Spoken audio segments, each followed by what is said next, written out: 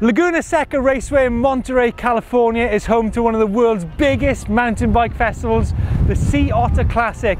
So today we're going to dive into all that and to look at some bikes and some tech.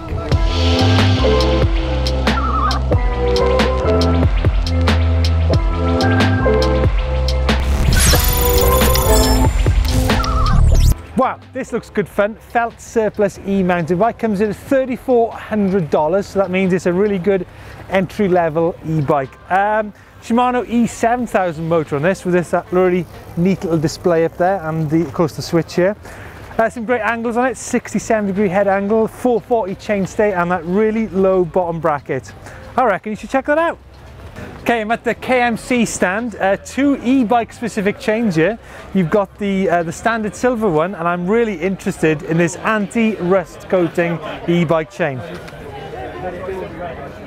Now, very recently we did a video on how to get the best of your e-bike chain. This is a KMC digital e-bike chain checker. Look at that. Wow, this has got to be one of the coolest e-mountain bikes I have ever seen. It's a brand called Forestal from Andorra. Now, obviously, anything that comes from Andorra is going to have something to do with a man called Cedric Gracia. Uh, famous World Cup downhill racer, four cross racer, probably raced a lot on these hills up here. Uh, Cedric, right? Yeah, kind of strange to come this year and just look at the events, but I guess we have uh, another target this year. Uh, the target is this, the Forestal e-bike. Now this is just one, this is a prototype bike, it's one in a range, right? Uh, Rafa, first of all, let's, let's talk about the, the heart of this bike. You've got your own motor and your own battery, is that correct? Correct, yeah, yeah, yeah. Can you tell us a little bit more about about it? Is it how many watt hours? How many, watts is the motor and the and the battery on here? That's going to be complicated, isn't it, to tell? We're still in prototype stage, so we have to keep the secret. But uh, batteries are going to be around 350. Yeah. But consider that we are developing our own battery motor, so we get like a much better efficiency. Yeah. Uh, that's been tested, so it's been working already. But we need to still find out final figures, how it's going to be all uh, mounted in the bike. Yeah. What, what strikes me is it's it seems quite a light bike, even and this is like an aluminium prototype. Sure, surely the production is going to be super light, right? That's the question. Everybody wants to uh, hear the answer, but we cannot tell you. We cannot tell you. No, but uh, I'm guessing it's going to be about 35 pounds easy. Just, just, tonight, after a couple of days, uh, yeah. maybe tonight, maybe maybe we slip some tonight, but right. so far we can't. What about? Uh, so you're going to have a range of e-bikes. What what travel are we talking? We are talking uh, travels for trail bikes, enduro bikes, and enduro long travel bikes. So that will go from 150 rear to 170, yeah. and front 150 to 170. Now. Seeing such a spectacularly different design, people are going to want to know when they can buy these e-mountain bikes. Uh, well, if they plan to change their bike in the next year, save the money. We will start to, well, we will do the presentation early 2020, but the presentation will be done when the bikes are ready to sell. Like we say, we tried to think outside the box with this project. The good thing, we have people on board and I come from aviation, car racing and motorcycle kind of famous brand people in. And where's the bike going to be made? When or where? Where's is so? Got two questions. Where's it going to be made, and are you going to be selling complete bikes or just frame kits? It's going to be complete bikes and all made in Andorra. Design, manufacture, and built in Andorra. Uh, Rafa, one last question. Um, frame sizes. What what do you aim? You aim to have a range of frame sizes, yeah, or from S to extra large. Great, guys. Amazing job. Thanks for spending the time. Uh, can't wait to have a spin on it one day. Save your money. Sure. Save your money. Save your money. 220, you can go. What? Now, tyres are critical on e-bikes for many reasons, not only just for grip, but also for battery longevity as well. Uh, now, this pivot here has got a Maxxis Recon on it with a really low profile uh, tread pattern. So you're probably going to get, if you're riding fire roads, you're going to get quite a lot of battery life out of the bike. However, what I'm excited about is riding these Assegai tyres here like you have on uh, Greg Minnaar's World Cup downhill bike. Uh, Assegai comes in a 2.5 width and it really is super, super soft. However, they not only have they got the uh, downhill casing one, they're coming out in a few weeks' time.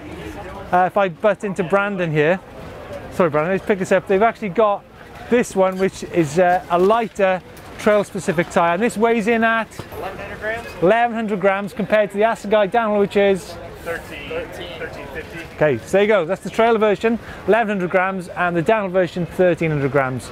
Uh, really good tyre for e-bike riding.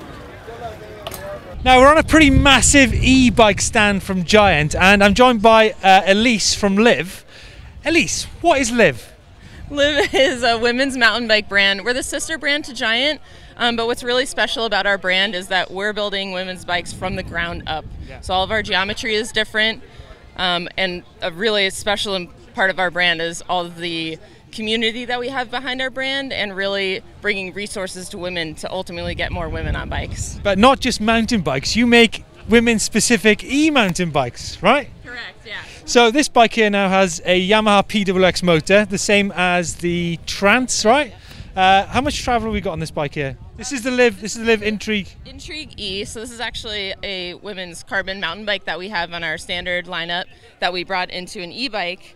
Um, and this one has 150 millimeter in the front and 140 in the rear. Can you tell us what the main differences are between that bike and the non-women specific bike? Most importantly, it's built from the ground up by women, so that's a huge difference. Um, but what's different about our bikes is the geometry. The geometry is specifically made for women, whereas we may have shorter torsos and different power outages too. So the the carbon is laid differently. Our bikes are made in ways that make riding more, more comfortable and uh, really use women's power to their advantage. Now this bike here, the women's specific bike, comes in four sizes from extra small up to large. And if you look at the reach numbers, the extra small comes in at 404 millimeter reach, and the large is at 451. Okay, Elise, thanks for that. Uh, I guess the message is get out and try out an e mountain bike. Do Giant have, or, or do Liv have e uh, demo events in North America? We do, yeah. If you go into livcycling.com, go to our events section, you'll be able to see where and when a demo is coming around to you. Okay, perfect. Thanks very much. Thank you.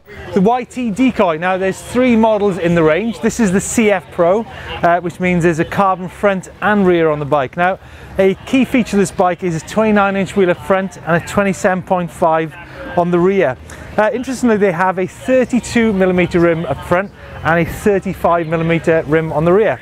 What I really like about the YT Decoy is the really neat uh, cockpit area. They've got an E7000 display and the shifter on the left hand side there, plus the SDG saddle. And in general, it's just super, super simple. Really like it. Now, I'm sure it's not the first time we're going to see the Shimano E8000 motor in here, but what YT have done is they've got their own custom battery. It's a 540 watt hour battery located in the down tube. And obviously what YT tried to do is create a mountain bike silhouette, and I think they've done a really good job of it. Uh, in the future, I think YT aim to get a 700 watt hour battery in there, uh, and people who buy these bikes and want to upgrade, they can do that at a discounted price later on. Now, it's a big hitting component spec on this bike. It's got uh, 200 mm rotors, code brakes, um, downhill tyres. It's got a Minion DHR, DHF up front and a DHR on the rear. Now, what I didn't mention is actually his E13's e-bike specific wheel set on there. Um, 32 hole front and rear. Now, at the Eurobike show last year, we saw a hall dedicated to uh, e-bike motor manufacturers from all parts of the world. Uh, here in Sea Otter, I've come across this brand called Vinca, who have actually been in the motor industry supplying motors for 20 years or more. But they've actually been this has been in development for uh, for about eight years now. Uh, and with Charles and Julia from Vinca Motor, um, Julia, where where is Vinca Motor based? Uh, our company based in Suzhou, China. Uh, That's where Bafang Motors is as well, right? Yeah, because Suzhou got a lot of motor factories, and we are one of them. But we are um, cars. We have been in this industry for eight years, but uh, 20 years before we are car suppliers for 20 years, and eight years before we step into the middle motor factory uh, industry, and we think the middle motor uh, field is growing.